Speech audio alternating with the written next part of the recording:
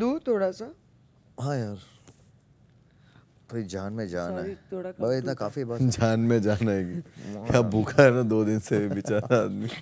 मौसम भी खा रहा है एप्पल खा रहा है चाय दूध सब चाह रहा है और बोले कि जान में जान है एक केले का टुकड़ा दे दो मालकिन। महीने साले